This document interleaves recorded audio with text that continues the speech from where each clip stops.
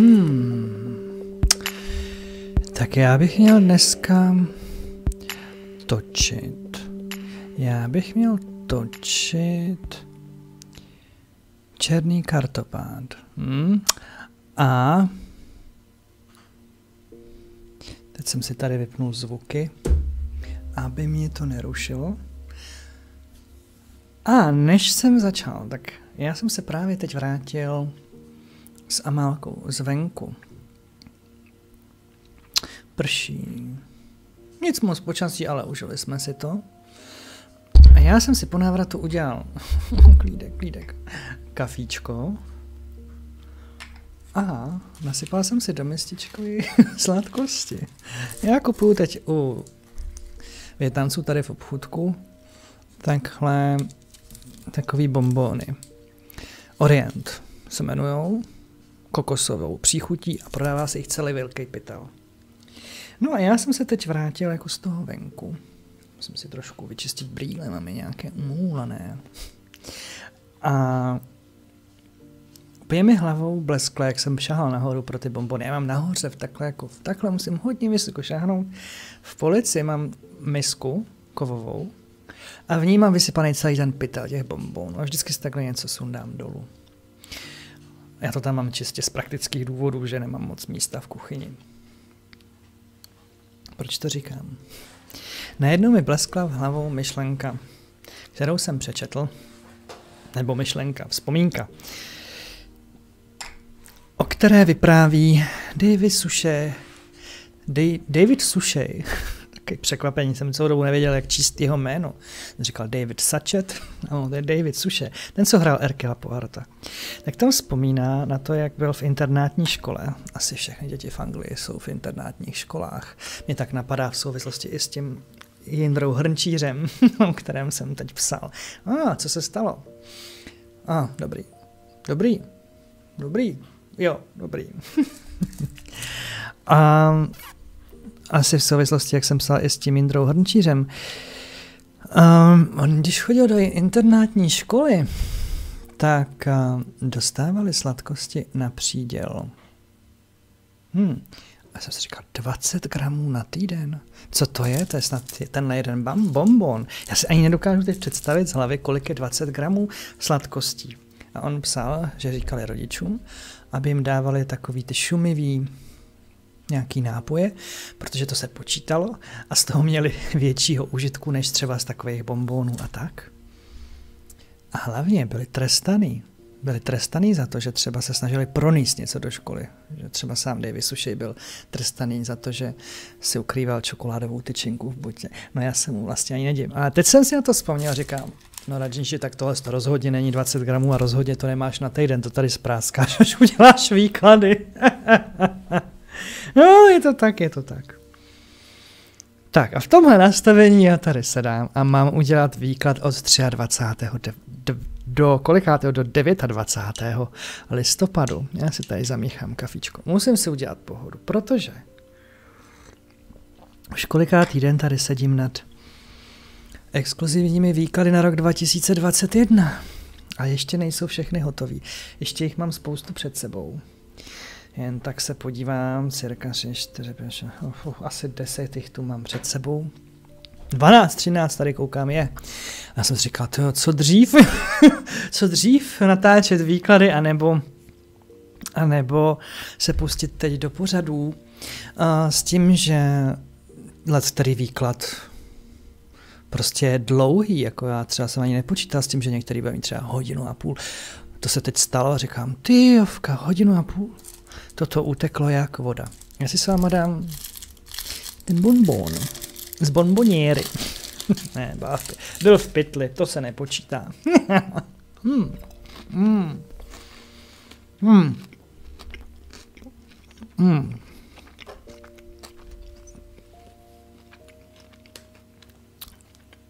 On ani není tak moc dobrý. jsou takový ty stužený tuky a tak. Hmm. Ale sladké je. Hmm. Dobrota. Už si tady míchám karty.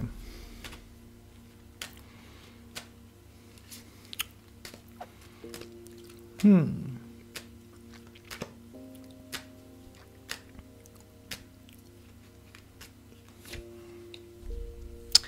Pláč.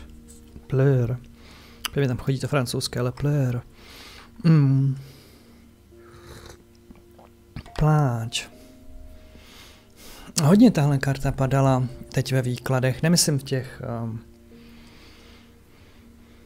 na rok 2021, ale v některých se začala objevovat a hlavně v souvislosti s pláčem.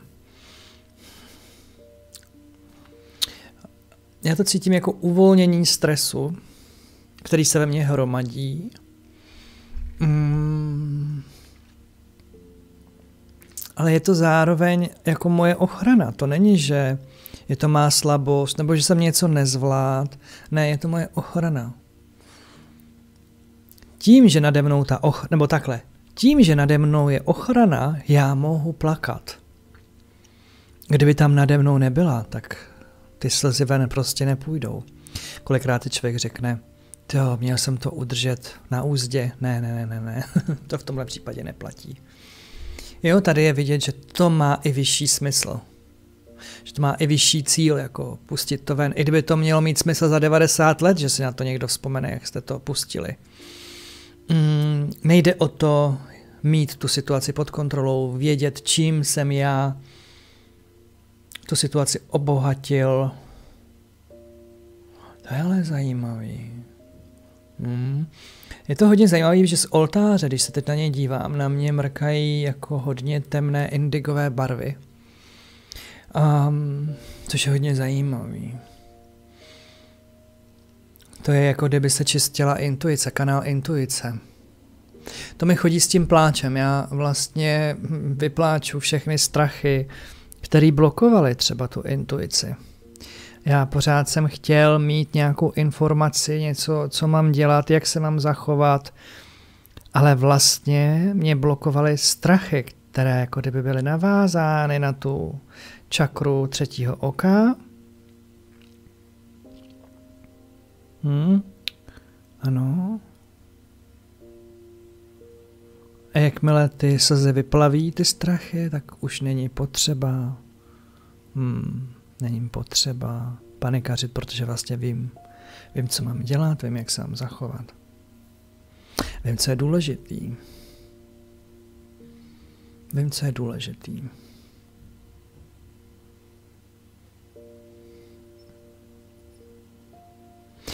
A nevylučuje to zdravý rozum, mi chodí říct. Jestliže něco je, vyžaduje jakoby zdravý rozum, třeba nějaký rozhodnutí, tak ho udělám a nemusím tam čekat na nějakou další informaci. Pokud mi bude růst na ruce nádor, no tak asi s tím půjdu k lékařovi, že jo, nebudu se na něj koukat 20 dní. Zdravý rozum použiju.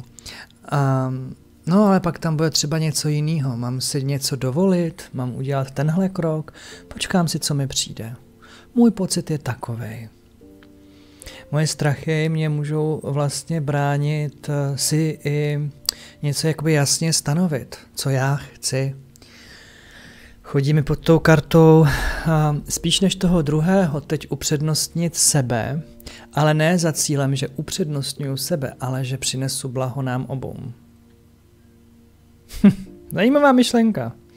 Já potřebuji vědět, jak to mám já, jak to chci já, abych se mohl s tím druhým na něčem domluvit, ale potřebuju vědět, jak já to mám, jak já to cítím. Jakmile já to vím, můžu to tomu druhému říct a pak se ho můžu zeptat, máš to taky tak, anebo to máš jinak. Ale dokud tam budou nějaký strachy, dokud se asi nevypláču a nezhroutím se z toho na chvíli, no tak asi nebudu schopný jako jít do té hloubky ve který bych si uvědomil svoji pravdu. To mi chodí pod tou kartou. Tak, vytáhnu další.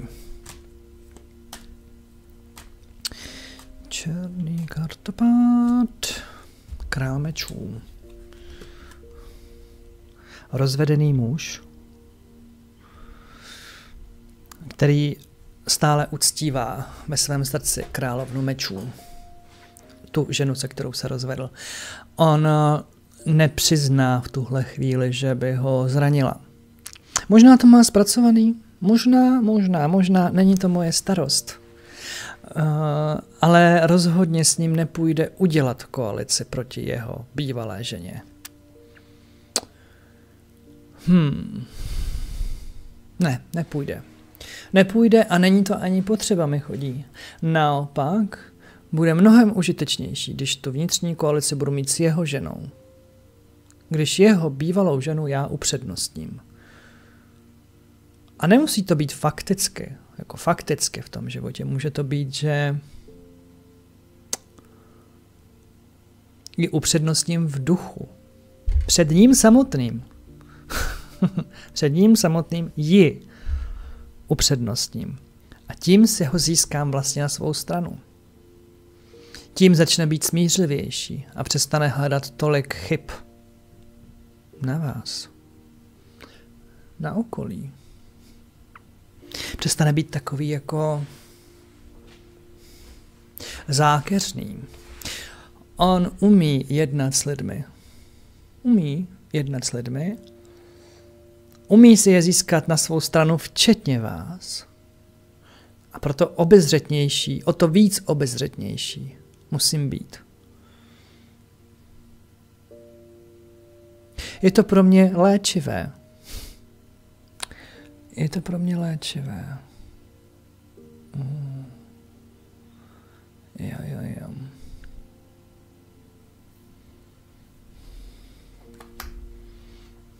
Tak. Dám si kafíčko.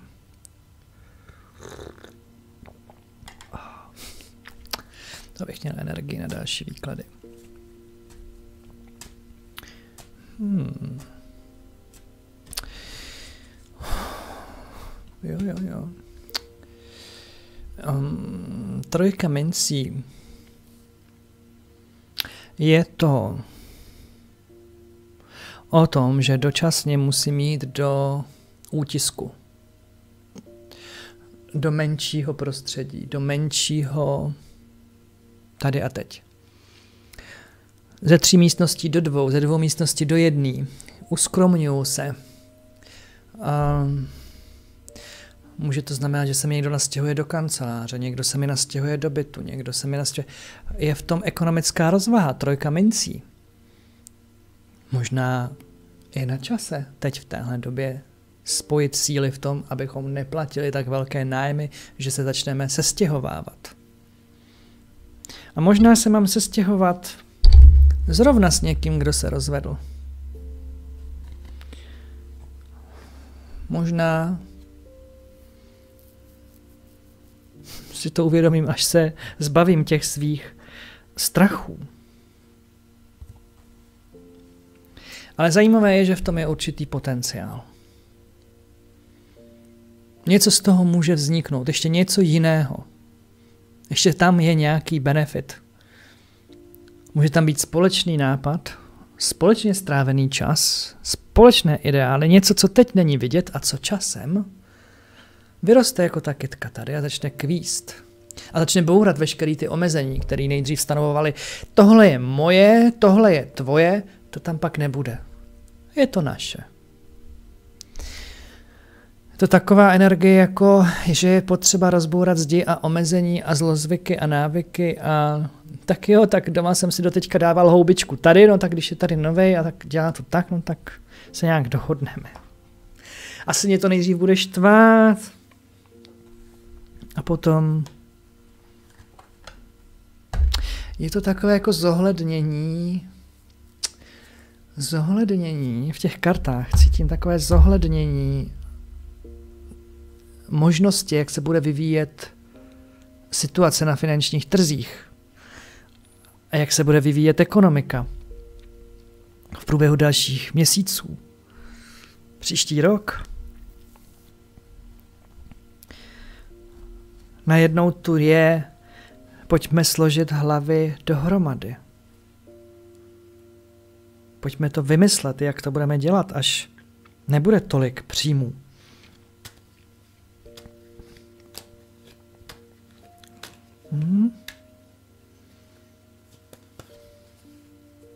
Páže holí. Jo, to je nejčastější karta mimochodem, která padá ve všech výkladech na příští rok. Všem v různých obměnách, páže holí, do všech výkladů, pracovní změny, pracovní nabídky, cesty do zahraničí, to všechno tu je. A zdá se, že páže holí může přinést i výpověď, která přináší nejistotu. Jaký je ten případ ale teď? Má nás přivést k uvědomění se toho, že je důležité myslet na zadní kolečka a začít spravovat a vítat všechny možné finanční přítoky. hmm. Nevím, proč znovu se mi z knihy od Davida Suše vy, vybavuje jeho láska ke kanálům v Anglii. Ke kanálům těm, které, které se splavují. Že celá země, jako Velká Británie, je těma kanálama propojená, každý město. A mně chodí, že ta propojenost se sem nějakým způsobem skrz toho krále mincí vrací.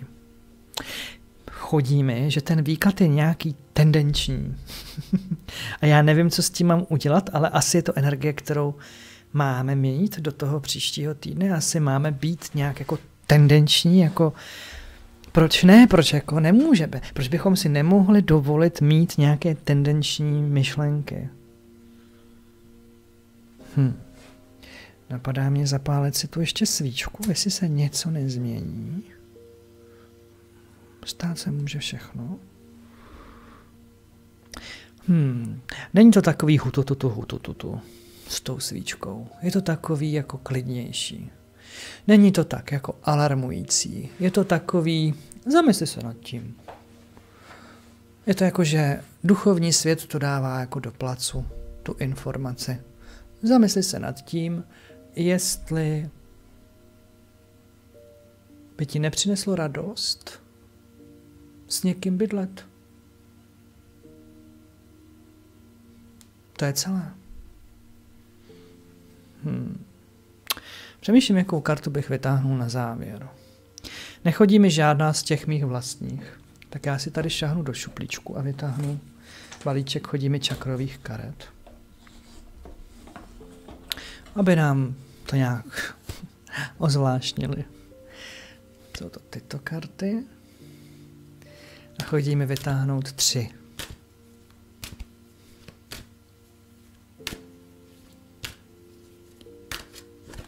Dvě mi vypadly a třetí vezmu ze spoda a začnu od té první.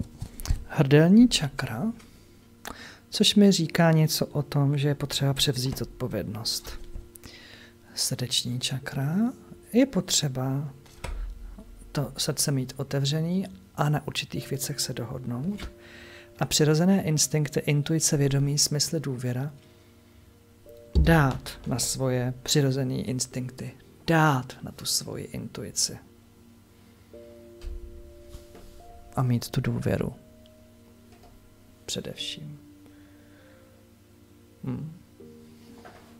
Ještě něco hračnější, ještě by to byla nějaká informace. Já vám nevím, jako cítím, že karty povídají a nevím, kam to směřuje a nevím, co dál. Padlý andělá mi teď chodí. Ono dobrá. Padlý andělá.